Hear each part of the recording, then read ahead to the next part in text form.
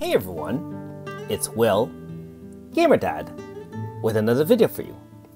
So hopefully you did the in-game update for 2.11.500, and if you did, um, this morning's, uh, I guess, um, inbox should have delivered something pretty special.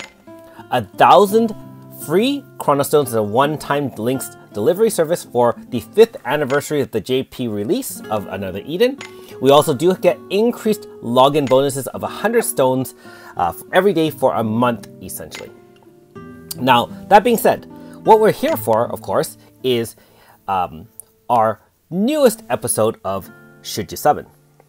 So in tonight's episode of Should You Summon, we're going to talk about the um, two banners available, actually three banners available. We have the Encounter Across Time Layers Violet Lancer, and that is the Fateful. There's also the Epoch Fateful, which is both two times max. And finally, the two uh, both free or paid stones banners.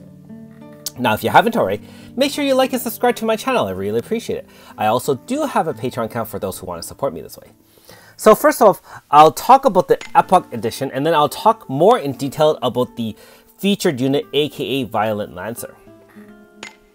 So, um, one of the good things about a lot of these alter units is that these uh, specialized fateful encounters um, group together some of the most powerful units in the game, and a lot of them are newer as well. And so this one has 10 different units. Your 10th encounter for the Fateful, which does require a 1000 paid stones or your Heavens subscription ticket, guarantees one of the following. And so we did see a glimpse of this yesterday. Violet Lancer, of course, and you also have Isuka ES, Kikyo AS, Hardy AS, Melody, Sukiya ES, um, the other three alter units, and finally Chio AS. Now that being said, um, I guess in terms of how you would value this particular banner, keep in mind that if you are going for Violet Lancer and you like at least some of these units, this one is actually a much better value than, for example, the uh, Fateful Encounter here. And I'll just quickly show you that. This one is 0.8% of the Violet Lancer, 10% flat chance on the 10th encounter. Same um, mix of bots, Rainbow Sisters, and, um, you know, those kind of knights and so on and so forth.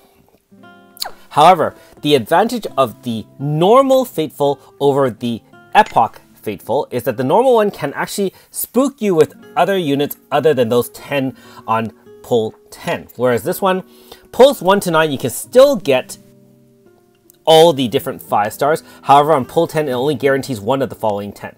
So you have to, if you are spending some stones, and obviously you can buy a 4K package and use 2K here and 2K in the other one, then you can kind of spread out your value. And just like before, all Fatefuls um, do have up-to-date units. So Flame Lapis or Flam Lapis or Flamel Lapis, however you want to say it, is on this banner. That is the most recent banner. Um, of course, also AS Mystere is there, Pluma Diana, and so on and so forth, Eva, blah, blah, blah, blah, blah. And again, three and a half, fours, Rainbow Sisters, bots, and knights. All right, so quickly here on the Epoch Edition, uh, like I mentioned yesterday, I think Melody is really, um, unfortunately for those who like her, I would say she's probably the worst of the 10 to go for. AS Chio is still very much meta. I use her on my high-end Magic Zone team. Now, the downside of AS Chio is not because she's not great. She is exceptionally good, both as a Magic Zone setter and an Earth Zone setter, depending on the composition of your team. However, the thing is, she only comes as a 3.5 and 4 star normally, and if you've been playing the game and able to grind out keys, um, that is, you're at least in the early end game where you get quite a few rewards as the uh, end rewards with either 120 light or 120 shadow on your dungeons in the very hard red keys. Or if you're even farther ahead and you're doing Garrelia or Underworld dungeons where you can get some reward lines, Treaty Seeds for AS Chio will drop, and if you grind it out, I've said this many times, usually within three to six months, you will have a enough treaty seeds codexes to upgrade a unit from four and a half to five. And so AS Chio, although very valuable, you probably can get her relatively, I'll say for free with some work and grinding if you have enough reward lines unlocked by having a team of 120 or more light or shadow. In the case of the other units, all the alter units are actually pretty hard to get generally. Um, they did have specialized banners that had 1% flat chance. However, you know, many of us probably didn't get a chance to pull for them. And so this one does give you a 10% chance of getting them. And so if you had used Fatefuls in the past and missed one or more of the previous three, you do get another round of two shots of getting those. And so there is extra value there for you. Not only that, Opuses are extremely hard to come by. They only come from red key grinding and they drop as a 0.1% chance. So yeah, not that easy to grind out, not three to six months, probably four to eight months, if not longer. And so if you are looking for some extra chances of getting any alter units, this is a great banner for you. Let's round out the ES um, Sukiya, ES Isuka, ES Hardy, ES Kikyo, all high-end units. Um, ES Hardy is another flash strike stance. Um, ES Sukiya is a top-lined wind pierce zone setter with high-end DPS. ES Isuka, great shielding, barrier, relatively new unit, so very high-end power uh, with some defensive and some offensive capability. And finally, ES Kikyo, extremely high-end wind DPS for Slash, probably one of the top wind DPS currently in the game. So yeah, not much else to say here. If you are looking for Violet Lancer and having some bonus 5 stars on the side, very much worth the value, although you do have a couple of bummers in terms of potentially hitting a Melody or AS Chio. Same with this one. If you do like, um, you know, Violet Lancer, of course you can gamble on the 20, 10% uh, chance times 2.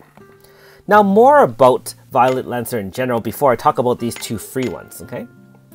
Now, Violet Lancer, I've been thinking about her over, over the last kind of couple of days and kind of bouncing some ideas off uh, my friend who also plays the game to see what he thinks about it. Now, first of all, she is another Earth Zone setter she kind of specializes in powering up both Luring Shadow units and Earth units, obviously. She also does have another zone because she is an Alter unit, which actually increases damage against um, enemies higher level than you. So a lot of super bosses and stuff like that, you're going to get some extra damage up to two times depending on um, how difficult they are. Not only that though, she does have dual debuff down in luring shadow teams, so enemies who, uh, I mean for team members who are shadow type, you'll get a dual shield 30-30, which is kind of like Nikoko, very, very useful that way. Um, she can generate a lot of damage while in another zone. However, outside another zone, her damage does drop off significantly, uh, such that it's a little bit weaker than some other units that are in regular zones, so to speak. But that being said, she can really support some Luring Shadow teams. She still does set Earth team, uh, Earth zone, and she does have the end of turn effects for, um, depending on number of Earth attacks done, then you'll get up to 60% or 15% per move increase Earth type attack for your team. So really does help boost your Earth type teams. Now, the downside to this, because some of her moves boost um, units based on not only Luring Shadow, you are limited in the number of Luring Shadow units you're going to bring here because if you're bringing light units, then those Earth Light units aren't going to benefit completely from her, aka things like um, AS uh, Myris, AS Chio, if you wanted a dual Earth Zone setting. They won't get that extra benefit from the shielding from Luring Shadow units or max HP bonuses from that. Now, if you're talking about um, bonuses on uh, units that are of the Pierce variety, because she does increase bow and lance damage by up to 30% with her top move. How many Earth Shadow, we're talking Earth Shadow units are there in the game that are also Pierce? Milsha comes to mind. She does have Earth. Um, I think there is, um, I think there's one other one, but you know, you're starting now to kind of like play around where you're maybe able to add either luring shadow units, which can be top line, or earth units that are top line, but they don't get all the benefits because a lot of the top end earth type units, they are light units because there's a lot more light units than luring shadow. And in terms of top earth pierce units, you have like AS Seal, for example, as another high-end DPS. AS Tiramisu, which is also a light unit. These are not going to benefit from the luring shadow.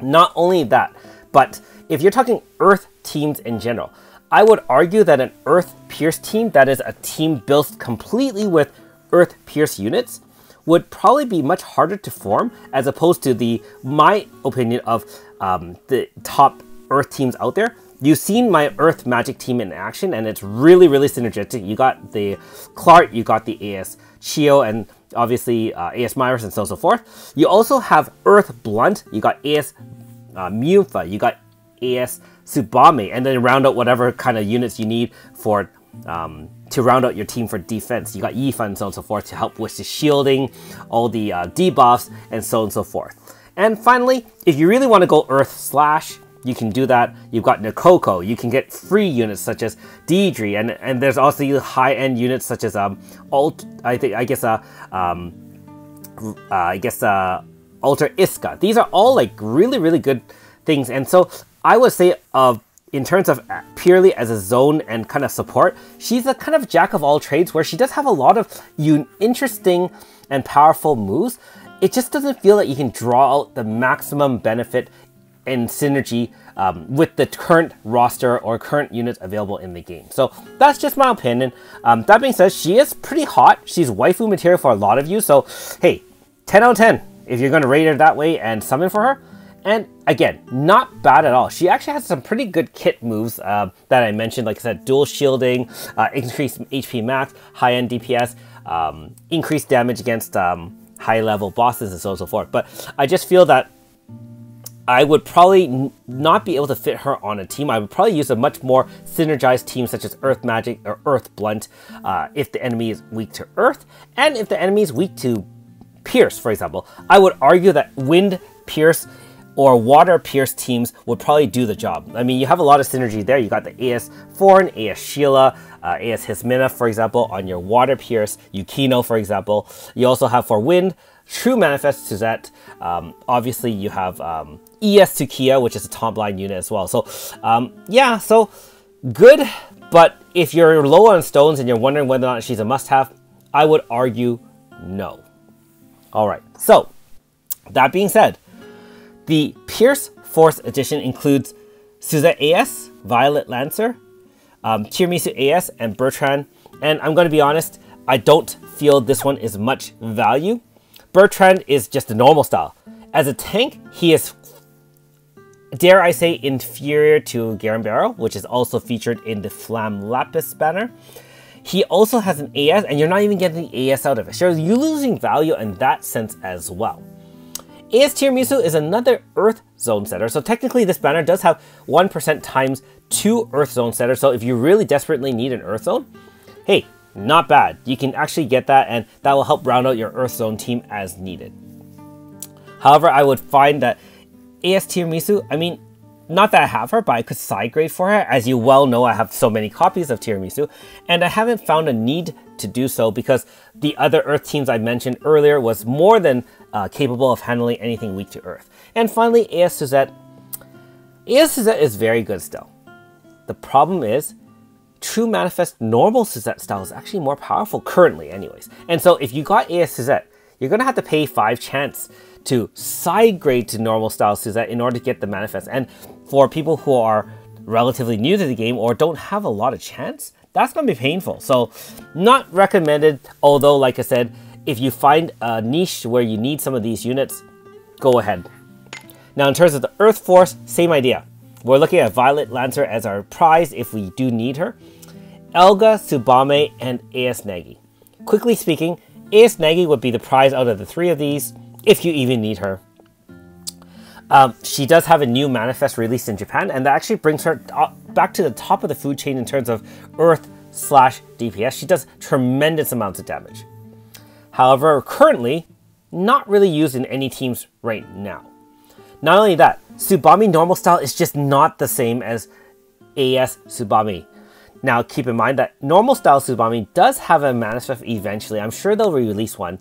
But as it stands, you're now going to have to pay Chance and Treaty to side grade to Tsubame AS, which is the superior unit at the moment.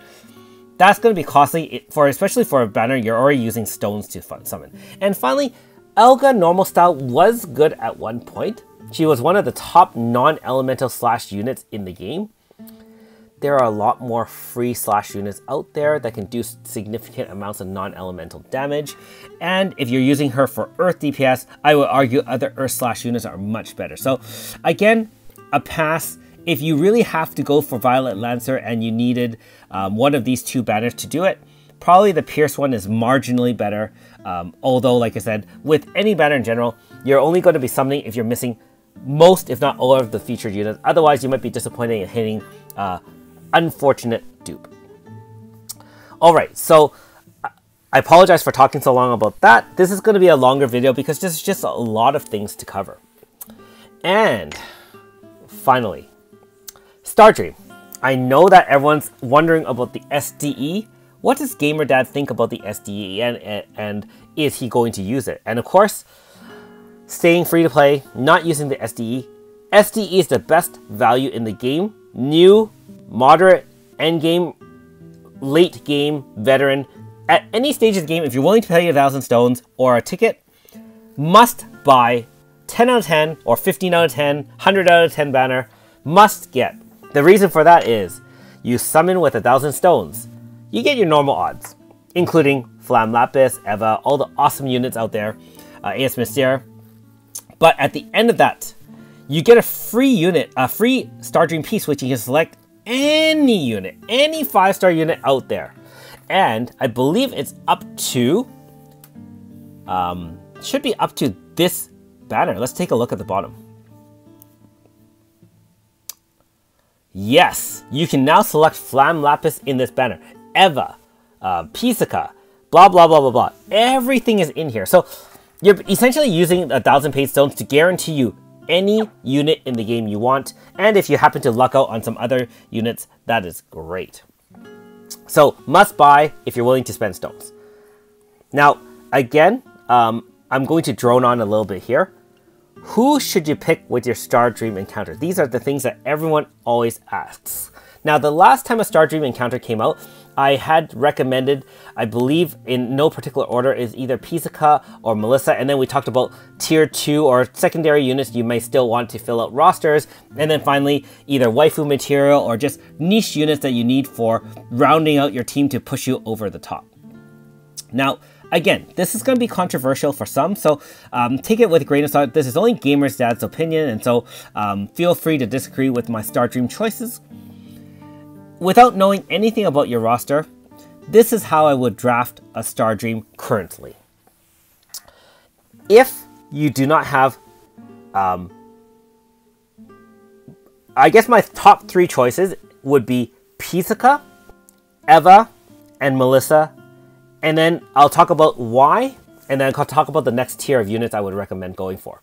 So, we're looking for units with our Star Dream to last us into the future, long into the future for money you're paying. And so if you're going to do that, you're going to have to draft or choose a unit that will be fitting in almost every team, most teams, or most situations in the game to make your life either easier for, you know, both farming, boss, super boss, storyline, and just coolness factor as well. And if you're going that route, depending on your playstyle, you're going to choose one of the first three. Now, Pisika, there's not much to say about it.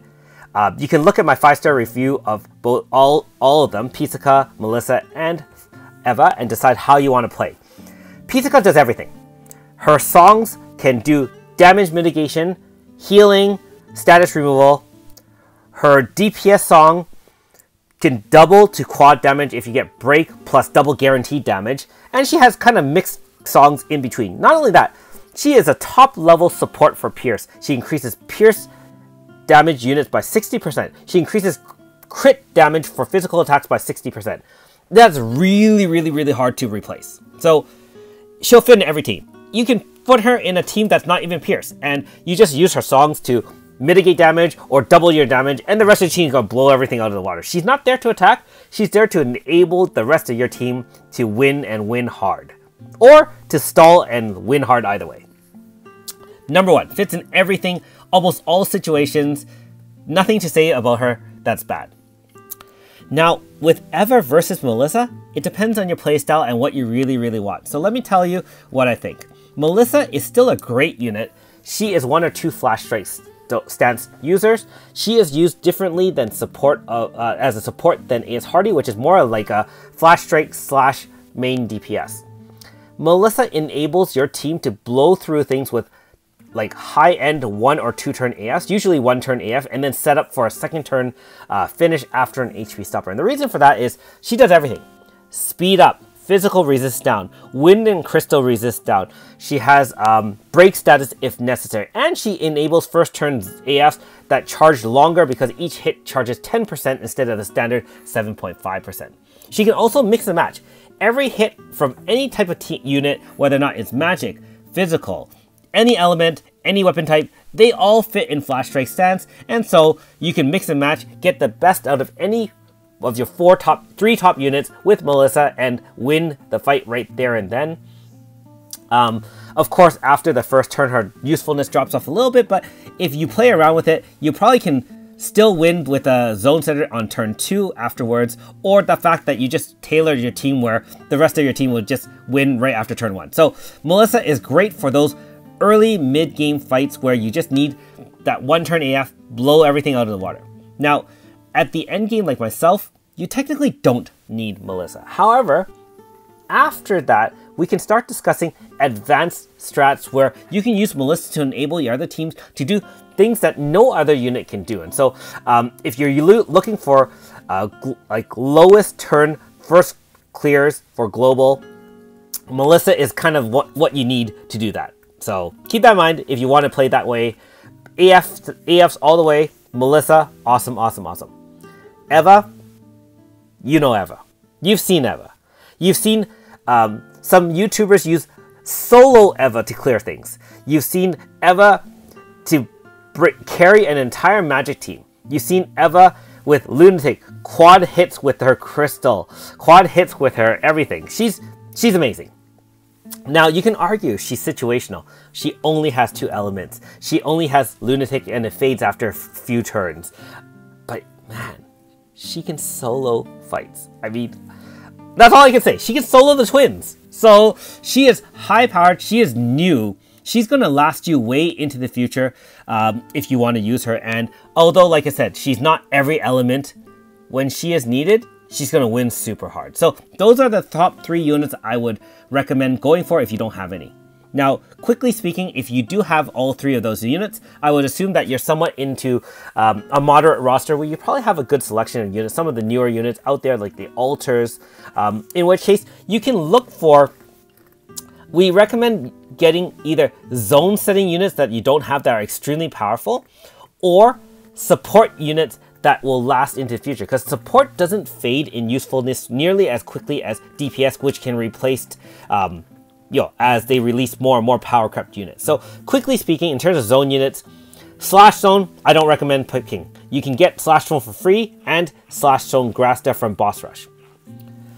For Pierce, you have a free Pierce Zone setter in AS Sheila, and again, I hope that you can farm for AS Forn, which is still very viable nowadays with her heal and zone setting.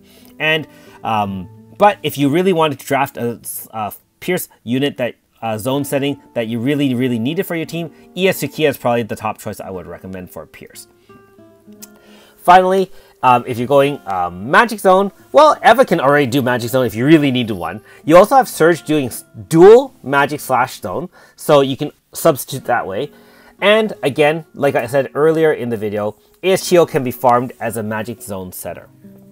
Now in terms of elemental zones, you got the alters. Technically, if you want one of those to help round out your elemental zone team, you can draft any of those four. Um, in terms of Earth team, I would probably still say you can farm the AS Chio, so you really don't need that. And AS Miyufa, I say, would be what what a stand out zone setter. The reason why is she can side grade to normal Miyufa. She has AS capability, which is, I would say, uh, in, in, it's it, it, it's necessary. Your AS Miyufa is necessary for a top line blunt team. So there's that. Um, otherwise, I mean, you just have to kind of decide after the zones in general. You know, you're probably going to have pulled most of some of these along your way unless you're really, really new to the game. And if you're really, really new to the game, you probably needed one of those first three I mentioned. Now, um, honorable mentions, Nakoko and uh, Red Clad Flamemancer. Both of those adjust to all four elements, and apparently the newest Thunder element can be utilized with Nakoko as well as Red Clad. And so they are very versatile. If you want a unit that kind of fits into multiple teams and thereby having either offensive support or just a lot of versatility, those will be great picks too. Okay, Gamer Dad's talked way too long. So let me know in the comments below um, what you think about everything, how your summons are going, are you SDing anything, and for those who are summoning, I wish you all great luck. Put those thousand stones to great use. And I'll see you tomorrow when I start tackling the uh, Battle Simulator new fights. Uh, it's a little bit late here um, on the West Coast in Canada, and so I'll work on those tomorrow. Anyways, thanks for watching. We'll see you next time.